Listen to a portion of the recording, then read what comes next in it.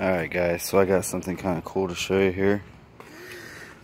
I'm going to give you a little demonstration of the Nanohide textile product here. We have a just a normal paper towel, shop towel, but paper towel.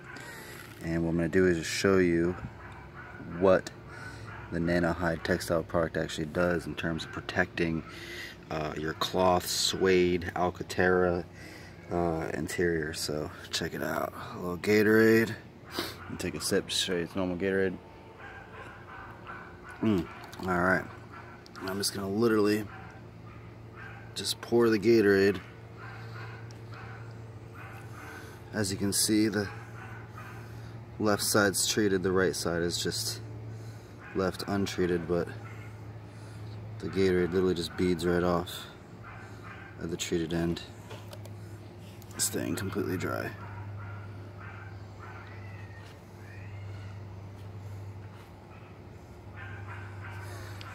Good stuff.